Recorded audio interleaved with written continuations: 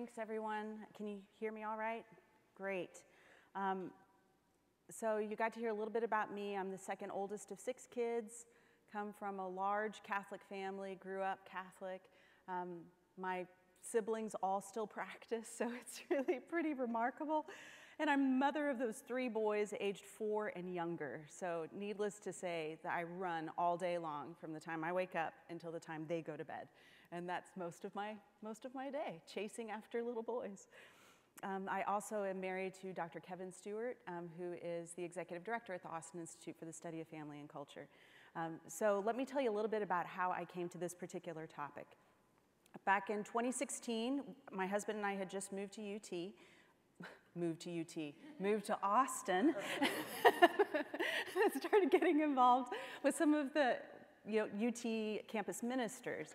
And so uh, I had given some brief presentation at the Austin Institute. What we do is we look at how social science informs a lot of these things that we're talking about today. So my approach is going to be a little bit different because it's going to be based on scientific studies almost exclusively. That's what you're going to hear. Um, so I was approached in 2016 by a campus minister who said, uh, do you have any resources that you can give me? Because the college students that I work with, they're always asking questions about sexuality and gender, and I feel like I don't even know the first thing about them, and yet I have to advise them, and I'm trying to guide them. So, what in the world do I use? And I said, You are in luck because uh, this sort of a summary of the literature on sexuality and gender has just come out. And I'll tell you how you can get a copy. He got a copy. I think I even mailed him one. Um, and then I started reading it, and I realized, wow, the language was just so specialized. I thought this campus minister is never going to be able to have the time or the tools to be able to sort of break down what these studies are actually saying. So this is what launched me into a project beginning in 2016 and continuing out now on to today, where my job is to sort of translate research into um, a form that's more accessible to non-specialists. So you'll see on these slides that I pull up, I'm going to be citing a whole bunch of different studies. Um, I have citations wherever I can so that you know that that's what it's grounded in. Everything in this presentation is grounded in actual scientific studies. Um, so that's how I came to this topic.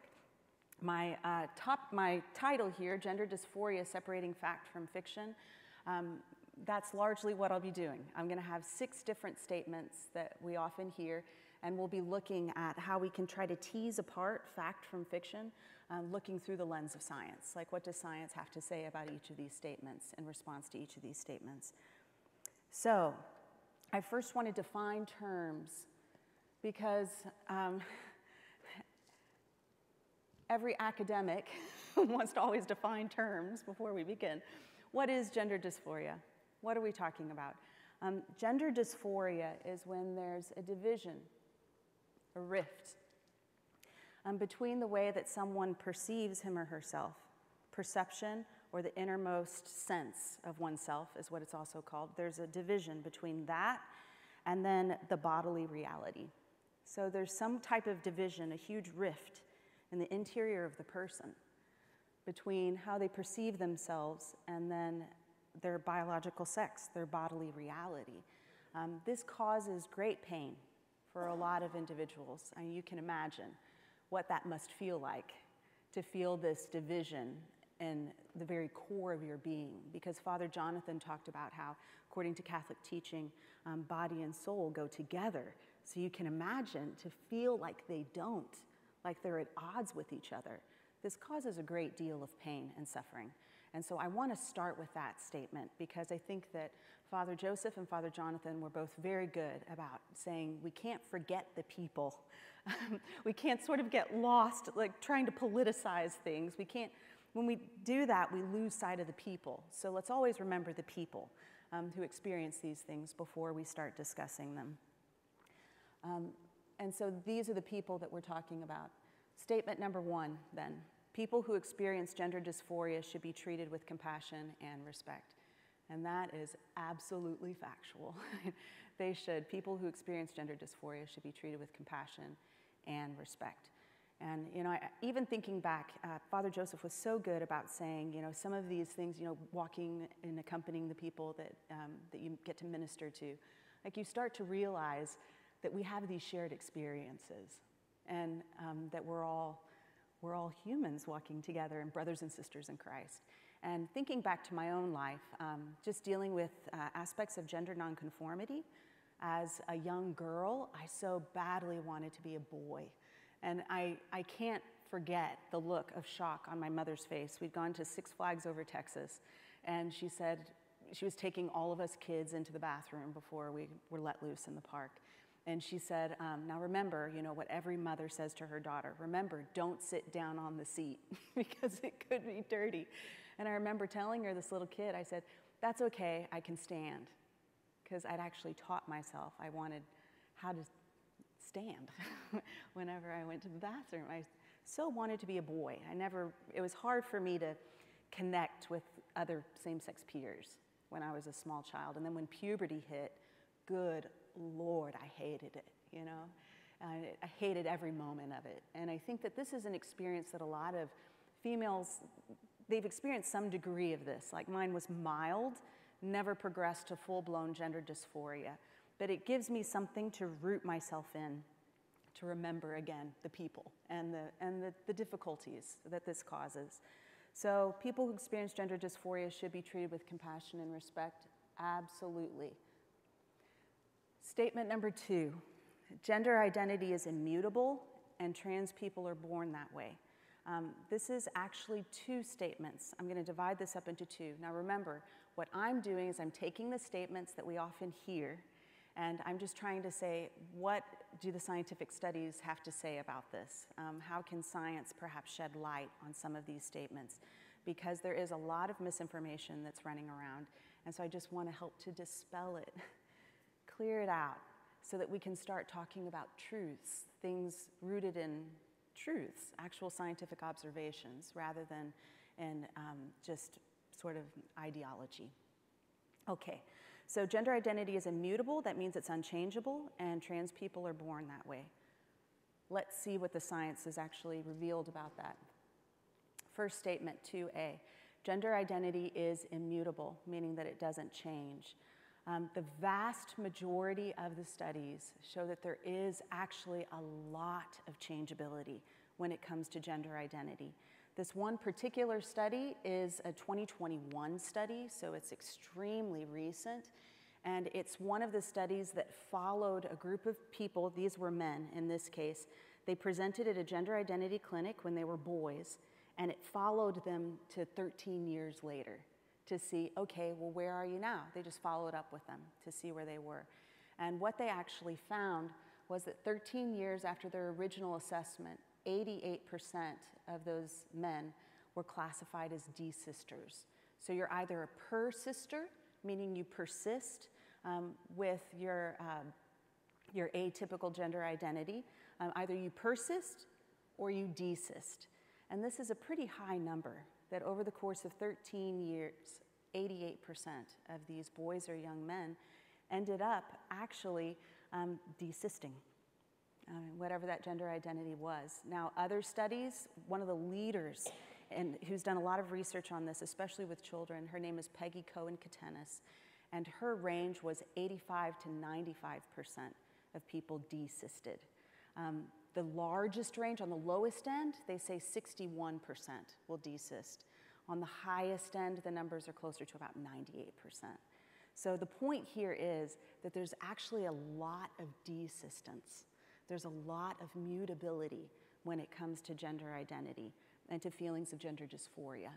There's a lot of change that's recorded, science has recorded. So that's statement number one. Statement number two trans people are born that way. And again, I'm, I'm using the vernacular, um, vernacular kinds of statements. Um, well, they've done studies into this, into, well, is it something that you're just born with?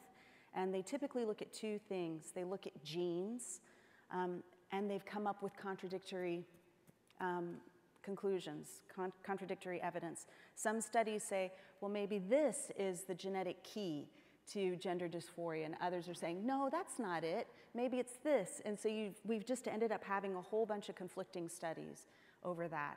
Um, what the consensus seems to be is that it is more environmental than genetic. So it seems to, see, it seems to be that there's some genetic predisposition, um, which we will very often find with sexual orientation too. There's some genetic predisposition, um, but majority of that kind of, when you see that kind of behavior, majority of the influence is going to be environmental rather than genetic. And they're finding the same things when it comes to gender identity, is that there might be some genetic predisposition, but the environmental factors are often the ones that are um, more seriously doing the work.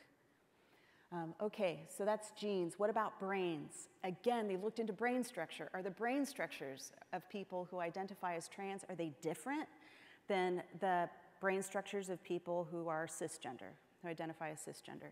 Um, and what they found are contradictions. One study contradicting another. And so they really, it's been inconclusive because they haven't been able to really zero in on any part of the brain that determines somebody's gender identity. They haven't been able to find that. And so right now, the evidence is still inconclusive. And the best we can say is that there might be some genetic predisposition, but that that's not, it doesn't determine future behaviors because there's this huge environmental component, which I'm going to talk about a little bit more.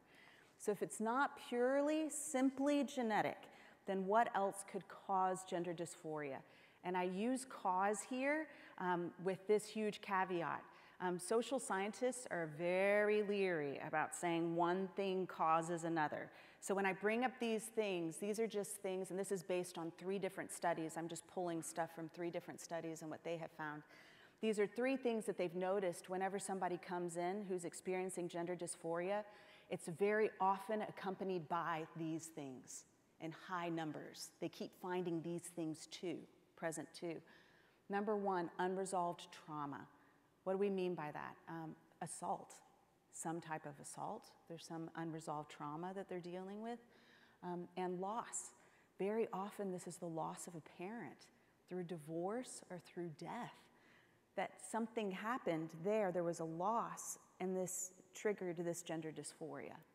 And so they find this quite often. Um, family conflict. So, what do I mean by that? Um, it could be a sick sibling, it could be functional problems within the family. Um, there was this one story about um, uh, this little boy who presented at a gender identity clinic, and uh, this mother you know, brought him in, and the the psychologist who was working with this little boy started asking questions about what was going on in the family and said, um, Well, tell me, when, when is it that he wants to cross dress? And she said, Every night. And he said, What's going on at night? And she said, Well, I work nights. And he said, So that's when he wants to dress like a girl? And she said, Yes. And so the psychologist said, Why don't you call him before, when you get to work and then right before he goes to bed? and then let's see what happens. So she started calling him, and the cross dressing behaviors ceased. They went away because this was in his child's head. Like this was his way to connect with his mother so that he felt safe before he went to bed. And so you can see there are all kinds of. So when I say functional problems within the family, I'm not even blaming anybody. This mother had to work nights. But sometimes there's something going on within the family. They keep seeing this that ends up um, going along with gender, the gender dysphoria. Um, parents' mental illness, this is also pretty high. Um, a Canadian researcher found that 75% uh, of the parents of kids who came in had one or more psychiat- psychiatric diagnoses. So let me give you an example of that because, again, we're not blaming anyone. Um, there was this one woman who had been sexually assaulted as a child, and she was a single mom she'd never really dealt with that herself. And so, without meaning to, um, they found out as they went through therapy together, she started dealing with some of these issues the feelings of being vulnerable, afraid of men, hating men. She started dealing with some of those, and her son's cross dressing behavior um, disappeared. What was going on there? She didn't mean to because she loved her son but you can't help. She was spilling over, that unresolved trauma was spilling over into her interactions with her son. And so when they were able to deal with the trauma, then the cross dressing behaviors ended up disappearing. Um, so these things happen all the time. That's why I'm bringing up um, these particular other possibilities. Um, poor attachments, so poor attachment to peers. You know, what I said before, I never felt like I had those same sex peers who were my tight buddies. Um, sometimes this goes hand in hand very often with some kind of gender dysphoria. Um, autism, very high rates of autism among those who experience gender dysphoria.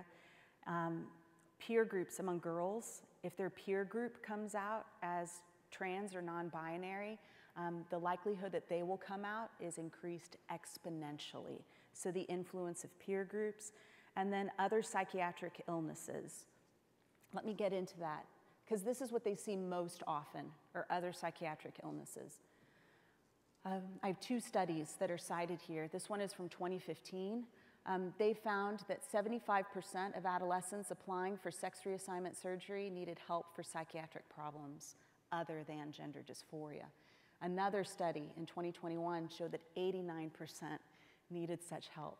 So when I say we don't know if it's a cause, but it does seem to show up really often, um, this is what I'm talking about that those who are presenting with gender dysphoria often have these other psychiatric illnesses. And what doctors are increasingly starting to ask is hey, wait a minute, um, why don't we see if we can deal with these other psychiatric illnesses first and see if that affects those feelings of gender dysphoria? It seems fairly logical.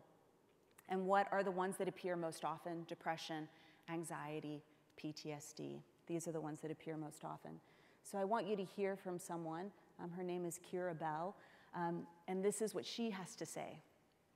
Uh, she transitioned to living as a, a male and then detransitioned back to living as a female. She said, The further my transition went, the more I realized that I wasn't a man and never would be. We are told these days that when someone presents with gender dysphoria, this reflects a person's real or true self, that the desire to change genders is set. But this was not the case for me. As I matured, I recognized that gender dysphoria was a symptom of my overall misery, not its cause.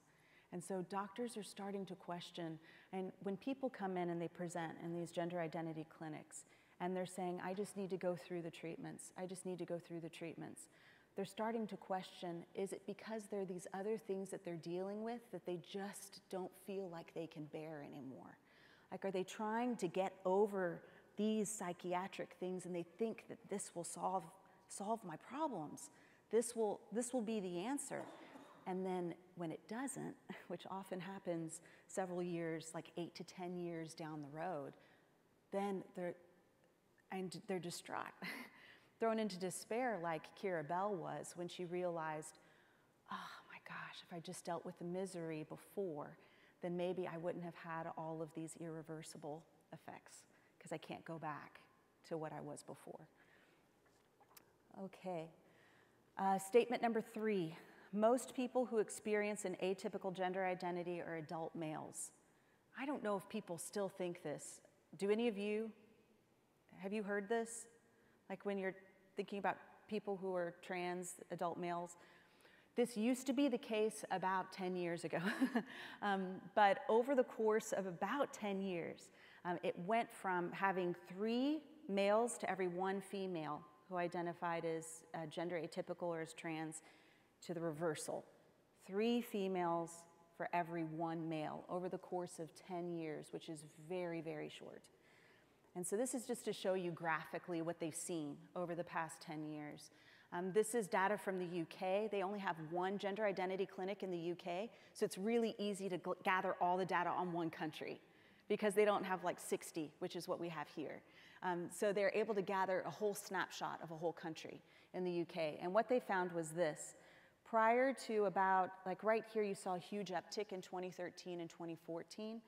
The gray and the black down here are males, and then this blue is females. And you can see right around 2014, 2015, suddenly we had this huge explosion of females, mostly 12 or over, who are identifying as uh, trans or as non binary. So let's look at another chart that shows this data from the UK and actually takes it by age. These were all the referrals, boys and girls. But you can see how, not huge numbers here down in the younger grades, but right around 12, we start to see an uptick 14, 15, 16, and then back down again, 17 and 18. And you start, you start thinking, you know, what's going on in a young woman's life? 13, 14, 15, 16. What? yes, yes, that there's this distress um, that is accompanying the onset of puberty and those, you know, breasts and periods and all this other kind of stuff that's very distressing to some of these young women. I mean, it's scary for most girls, but for some, like it, it's crippling. It's crippling and causes this sense of hating your body. And so uh, there's, this is where they're seeing the uptick, though. And this is another reason why a lot of scientists are going, whoa, whoa, whoa, whoa, whoa. The numbers are totally changing. Like, shouldn't we wait and see if there's something different going on with this group first um, before we just barrel ahead with the same therapies that we were using on boys who presented when they were three or four? So there are lots of questions that are going on in um, the medical community. So this brings us to number four, statement number four. The consensus of the scientific community is that the best way to deal with gender dysphoria is through gender affirming therapies. Let's look at what the studies say. So, first of all, we define our terms. What do we mean when we're talking about gender affirming therapies? I apologize for the size of the font, um, so I'll tell you what this says actually. Um, what they're talking about largely is this protocol that was adopted by some Dutch scientists It was called a Dutch protocol. Um, they were dealing with mostly boys who had presented from a very young age, who had received a whole bunch of psychiatric treatments. Um, nothing seemed to be working, and so they proposed perhaps there's some sort of protocol we could use for people in that unique set of circumstances. So they said, how about we have the kid go that, to a gender identity clinic.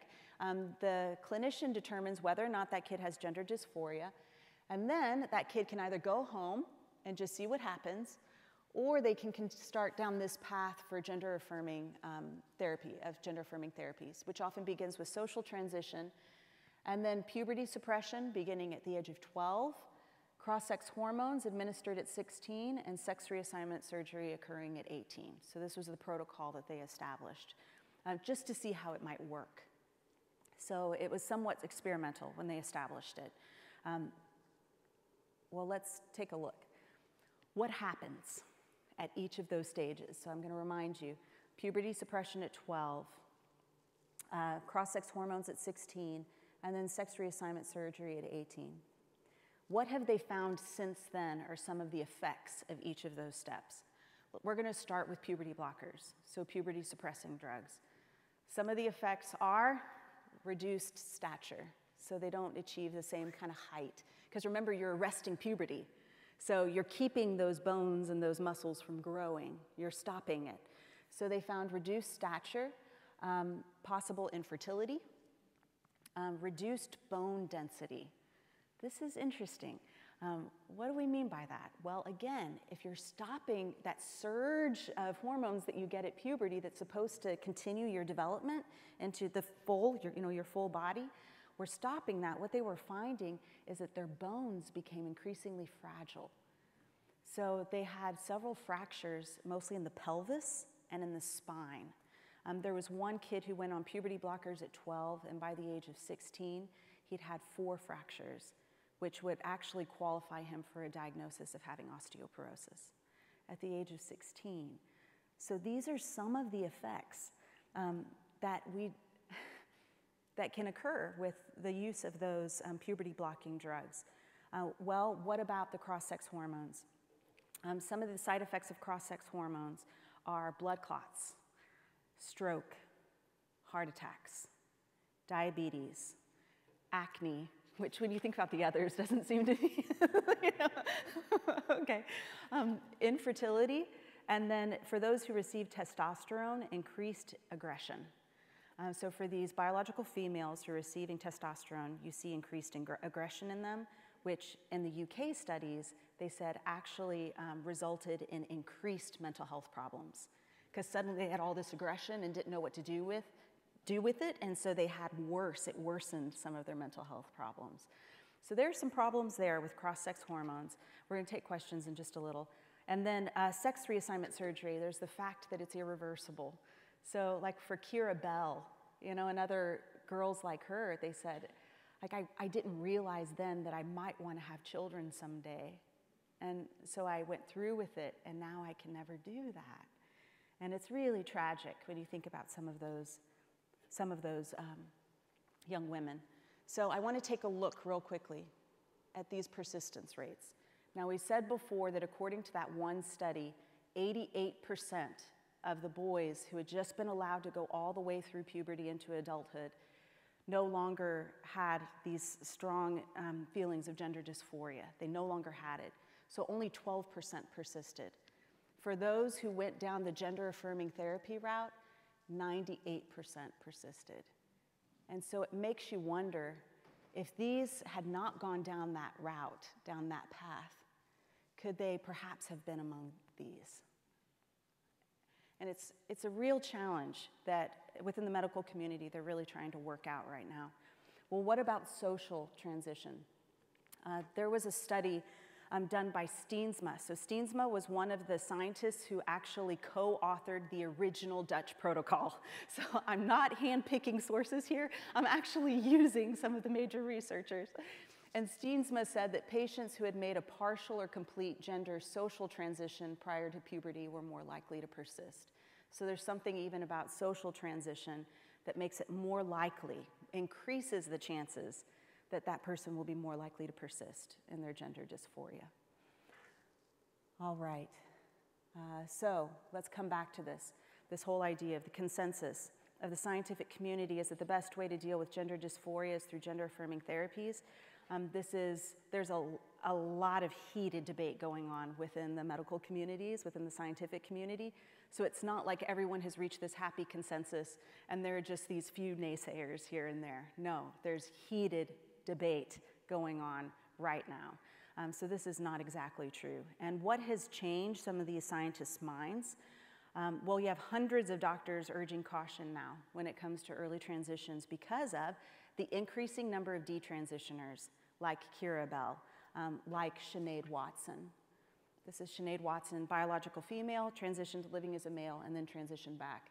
We were led to believe that our best chance of treating our dysphoria was to medically transition. As it turned out, this was not the case. As a result, we now have to live with bodies and voices that have been irreversibly changed, in some cases damaged by hormones and surgeries when what we needed was a compassionate and thoughtful exploration of our gender distress through talk therapy. Some of us will now never be able to have children, and many of us live with great distress and regret every day, is what Sinead has said. Um, they're also urging caution because of the fact that the brain doesn't mature until 25 in most cases. So they're starting to question can a kid who's 12 give consent if his brain isn't yet mature, and it's not going to mature until 25. Um, and then finally, European countries are increasingly limiting these procedures. Like laws are being implemented in European nations because they're like, whoa, whoa, whoa, lawsuits. Like they're so afraid of lawsuits all over the place that they're actually limiting these procedures. In some places, you have to have a court order in order to be able to go through the, have the gender affirming therapies. Um, so again, this shows that the opinions are changing. Okay, um, fifth statement. We only have six. We have two more to go. Gender affirming care is evidence based. This too is, there are problems with this statement. Um, there was actually an organization, the Society for Evidence Based Gender Medicine, that formed because they kept seeing that these therapies were being undertaken without a very firm scientific basis. It wasn't really evidence based. And so they formed an organization in order to review all the literature and to say, okay, this is evidence based, this is not evidence based. And uh, what is it that they concluded about a lot of about this, these gender affirming therapies? They said they were using low quality evidence. So, in some cases, um, they took a group of 27 people and then uh, said, and so this is what would be true for everyone and the whole population. 27 people is an extremely small sample size. Um, next, they were using studies about people who experience uh, same sex attraction, and they were applying those results to the people who experience gender dysphoria. These two things are not the same things, but they were using those studies and then just applying them. um, experimentally. Uh, next, they found that 30 to 50% of patients were disappearing or unavailable for follow up after they'd gone through the sex reassignment surgeries. If we're losing 30 to 50% of the people who have gone through the surgeries, then we're not getting a clear picture of what happens to people after they go through all of those gender affirming therapies. 30 to 50% of them are missing. And so this should cause us to say, hey, wait a minute here. Um, next, uh, there were earlier studies that they were applying to change circumstances. So primarily boys, young, versus primarily girls, teenagers. They're not apples to apples. And so you can't just apply those. And then data was being collected too soon. So they would ask them, hey, how do you feel about your, your uh, gender reassignment surgery? They'd ask them six months later. Now, they've often found that after somebody maybe makes the social transition, there are these feelings of euphoria. And then you realize a, a, little while in that that wasn't enough, and so you need to take the next step, you know, which might be um, the puberty blockers or the cross sex hormones. And so you keep going in after the honeymoon period goes away. You had this euphoria, and now things are bad again because those same problems are resurfacing. And so what they were doing is they were asking people six months after, or up to two years after they had had gone all the way through gender reassignment surgery, they were asking them, so how do you feel about it? And they're like, I'm feeling fine because it was only six months away, six months out or two years out. But they found that when they followed up eight years out or 10 years out, the picture was very different. People had disappeared. People were having major physical problems. People were having major psychological problems. And they were also seeing high rates of suicide. So, this is another thing. This is one thing to keep in mind when you hear gender affirming care is evidence based. Even under Obama, our uh, HHS, our Health and Human Services Department, they conducted a review of all of this research to see if insurance carriers could cover these treatments. And this is what the HHS found. In 2016, they conducted a systematic review of evidence for gender affirming surgeries in adults. The review found the clinical evidence is inconclusive for the benefits of surgery and cautioned we cannot exclude therapeutic interventions, hormones, and surgeries as a cause of the observed excess morbidity and mortality. So, what does that mean? They said, this evidence isn't very good. And number two, we can't even tell if maybe going through the entire transition could be causing the mortality, the increased mortality. We can't tell, so they refuse to cover it. So the HHS has already looked at this and said, too, that there's just not great evidence. Okay, statement number six gender affirming care is life saving. If people don't start transitioning, they will commit suicide. So, again, let's look at what the evidence actually says. Um, what we find here is that suicide attempts and rates among those who are experiencing gender dysphoria are about equal to suicide attempts and rates among people who are experiencing those other psychiatric problems. So let's say here we have someone with gender dysphoria who also has um, depression, anxiety, PTSD. And here we have someone who has depression, anxiety, PTSD in the same, at the same levels. Those people are about equally likely to commit suicide, according to, to scientific studies. And so you start to wonder what's doing the work there? Is it the psychiatric problems? Um, or is it really that having gender dysphoria and it not being treated is what causes the suicide? There are lots of questions about this. Um, the Swedish National Board of Health and Welfare said that suicide mortality rates are higher among people with gender dysphoria compared to the general population. You know what? I think this says basically what I just said just now. Um, there's a doctor, and people have begun to suspect, you know, they started to call it the suicide narrative because when, especially an adolescent girl, comes out to her parents, she very often, there's one researcher, Lisa Littman, who charted that she almost immediately starts talking about suicide. So I need to get these treatments, you need to take me in, or I'm going to commit suicide. So this very often, parents were reporting this again and again.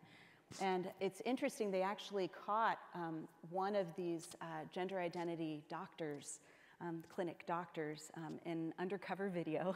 I know those aren't so popular these days, but an undercover video, this is what he said. His name was Dr. Uh, Wallace Wong. He wrote this book, when Kathy is Keith, he's a practicing um, psychologist in Vancouver.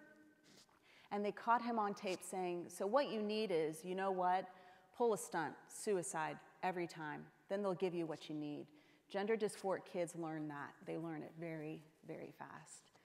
So, there's something going on here um, that we should just put out in the open. this, is, this is trying to see what is the truth. What is the truth? So that we can proceed in the truth. Um, because ultimately, um, that's what will bring the greatest happiness. So, this is the very last um, slide that I want to show you. It's suicide risk. I mentioned this before that those who had undergone sex reassignment surgery, um, they found that they were still 19.1 times more likely to die by suicide than the general population. And this is after going through all of the treatments that were, that they thought at least would get rid of the problems that they were facing. They thought they'd be free of them of all that turmoil. Okay, so let's review these six statements and then talk a little bit about compassion. Um, where is the compassion in all this? Review them. People who experience gender dysphoria should be treated with compassion and respect. Don't need to go over that one. Um, number two, where's the compassion in this? So he said that gender identity is actually fairly mutable and that there's no clear um, proof that trans people are born that way. So, how, where's the compassion in that? Um, it's in giving our researchers permission to look at what's currently going on um, with those who are identifying as gender dysphoric. Because it's easy to check it off. Well, it's genetic, it's in the brain, done. But that doesn't address what's really going on. So we should be able to look at what's actually going on because then people's lives will be saved. Once we start looking at the truth, people's lives will be saved. Uh, what about the third? Most people who experience an atypical gender identity are adult males. Um, no, again, that's just a, a misconception. Um, so even with these others, I'll just go through and show you where all the compassion is in all of these. What are some other things we can do? We can give kids the chance to desist. Give them the chance to desist rather than locking them into this gender affirming treatment plan where there only 2% of them desist. Give them the chance. We can demand that treatments be evidence based rather than experimental because the stakes are really high. We're talking about uh, changes that can't be reversed, irreversible changes. We can take the threat of suicide seriously, but we should not perpetuate it because it's totally irresponsible to plant in people's heads the necessity of suicide if they don't get the treatment that they want. That's irresponsible. So there's a great deal of compassion present in just airing the truth of these narratives to say these narratives are actually not true. Um, there's, there's misinformation, and let's get the right information out there so we can actually start treating these root causes rather than just putting patches, patches on these hurting people. We can't do that. So I began with this exhortation that we remember the people. Remember the people behind um, all of these stats, behind all the politics. Let's remember the people.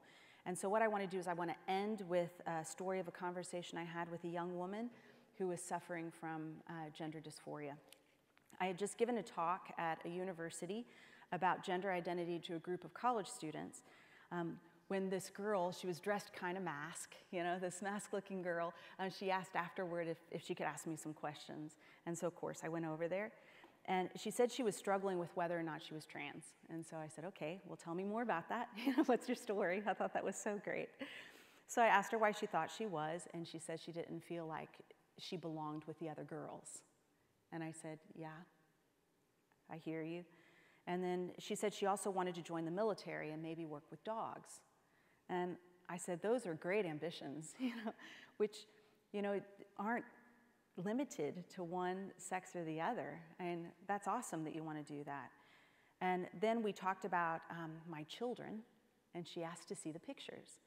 And it really touched me because I, I wanted to tell her this, but I didn't want to sound too preachy. But as she was looking through the pictures, she was being, the way she did it was so feminine because women have this ability to enter into somebody else's experience and to be excited alongside them. And she's going through my pictures and she's like, oh my gosh, that looks so great. And I'm just like, yes, this is beautiful, like right here, you know? This is, this is you. This is you. And I see you. And it's, it's beautiful to see. And then she asked something that I thought was a really hard question. She said, What if I, I never stop feeling like my body isn't right? And this is when, I mean, it's tough. And um, I didn't know what to say with her, to her, so I shared with her something that a friend of mine who experiences same sex attraction and is living as a celibate, something that he told me. And what he taught me was that when God doesn't take away um, some pain or struggle, um, he meets us right there, like in the midst of it. And that it's sometimes those things are deepest injuries where we're so raw that he's able to come in and, and minister to us most intimately. And so you might never feel like your body is the right one. You might not. But this is an opportunity too, like through that pain, to have the most profound relationship with Christ in that space, in that hurt, hurt, damaged space. So I, I thought that she was going to get mad at me, but she didn't. Like she just sort of relaxed. And I thought, wow, that's sort of, that's the power of the truth. Like just being able to speak the truth, even when it's not what somebody, you think somebody wants to hear. So um, I do want to end with a quick prayer. And then uh, I don't know what our time looks like. Is that it? Time to wrap up? Okay. Uh, we'll end with a quick prayer. In the name of the Father, and of the Son, and of the Holy Spirit, amen. Lord, we come to you with open hearts and open ears. And I grant that you would give us the humility to see what is true, the courage to speak it, and the prudence to know how to remain grounded in the truth without sacrificing one bit of charity and compassion. Open our hearts and help us to see. Um, in Jesus' name we pray. Amen. In the name of the Father, Son, Holy Spirit. Amen. Okay.